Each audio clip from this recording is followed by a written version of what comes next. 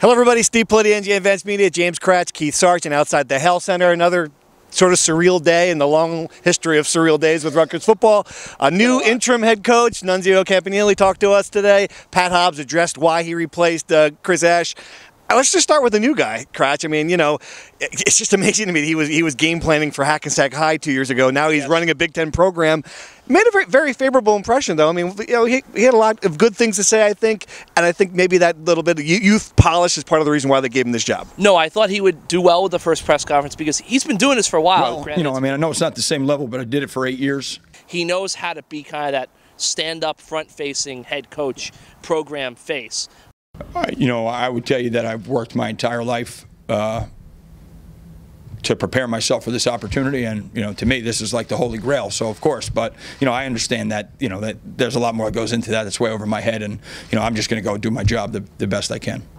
Because you're, you know, coach's son, coaching family. Um, I'm sure it was not the perfect, ideal circumstance that you'd want to run a college football program. But, you know, how ready are you for this? I mean, you've been doing this for your whole life. Just talk to me a little bit about like, just how, how ready you are and prepared you are for to be a college football coach. Well, I guess we'll find out in the next eight weeks. But uh, you know, the truth is, you know, I, I think that football is football, and I have literally spent my entire life on a football field. I mean, I.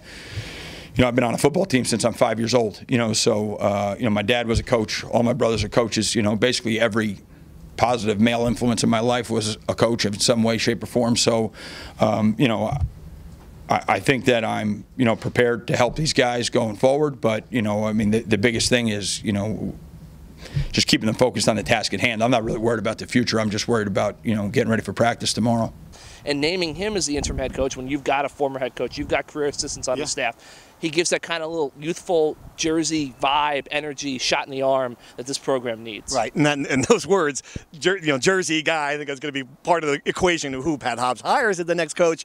Uh, a lot of things that, that, that Hobbs said. I mean, was anything one thing that stuck out to you, and what you know, what he was saying about why he made this decision and where he's going next? So, to be clear, we, we I asked him about the, about Schiano, that's the elephant in the room. I'm assuming you don't want to uh, talk about anyone who's obviously a current uh, coach, but Greg Schiano, there's been a lot of talk about him. Do you anticipate Greg Schiano being a, a, a candidate for this job? anyone who can help Rutgers football be competitive uh, and win conference championships is a candidate for this position. The phrase that we're going to hear for the next two months is anybody who can make Rutgers successful and put them in a position to win the Big Ten. Rose Bowl, he said. Rose Bowl. Anything you can share in that regard? I'm regard? looking for the very best coach who will make Rutgers football competitive and compete for Big Ten championships. That's why I came here. I want to go to a Rose Bowl. All right, so I want a coach that I believe is capable of making us competitive on the field and competing ultimately for Big Ten conference championships. look, you know, Pat Hobbs uh, has done a, a ton of great things. You you can really say that maybe he, he's the most influential figure of Rutgers athletics since Schiano left. All the you know buildings that they built, you know, the, the imprint that he's made. That being said, his legacy ultimately is going to be fi- uh, defined on whether or not he can uh, fix football. A lot of pressure over the next two months. Uh, still going to be questions on, on whether he's going to be able to uh, make uh, make the right hire. There's probably only be one more chance that he gets to make a football hire Probably about it. Yeah. and and so there's going to be a lot of a lot of pressure on him. I think he handled himself well. Good, good first impression, but next two months are going to be the ultimate litmus test. And I guess, I guess that's what's sort of jarring. I I don't, I don't remember a coaching search that could be nine, ten weeks long. He said he wanted to hire the next coach at the end of November.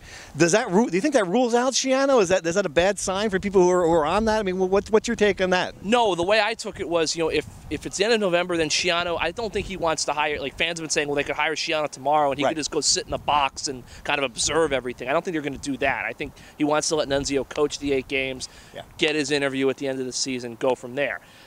I think it's tough to do that. I mean, my guess is that if, if that's what you're going to do, my guess is it's it's eight weeks of pre-planning, and then it's you have to have two or three people on your list, period, and you've got to ram those interviews through and get a deal done immediately before that kind of conference championship weekend. Right, and I, I just don't understand the, the waiting part from my perspective. Is I I think Nunzio is in a position to fail. I don't know how.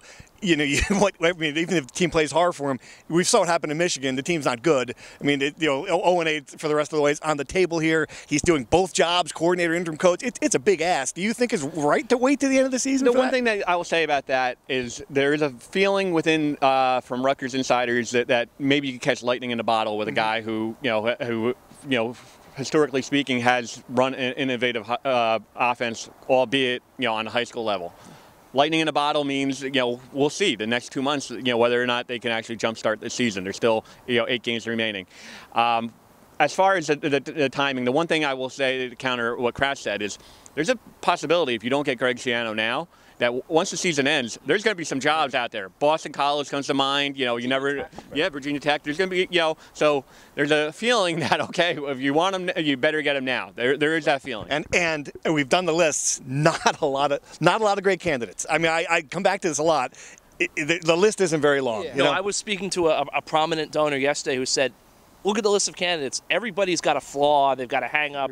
There's they're not a there's no perfect candidate out there, mm-hmm. and you don't think Rutgers is probably going to be able to poach a perfect candidate from someplace else. So it's going to be interesting to see where they kind of land. I will say this about Nunzio: even if they catch lightning in a bottle, five next games are manageable. Let's say they go three and two. You still got to finish Penn State, Ohio State, Michigan State. That's I think going to throw any kind of cold water on any run Nunzio develops. Hey, we've got two two months to talk about this, guys. Hooray! Steve Politi signing off. Keith Sargeant, James Kratch. Listen to the podcast today. We'll have even more. Thanks.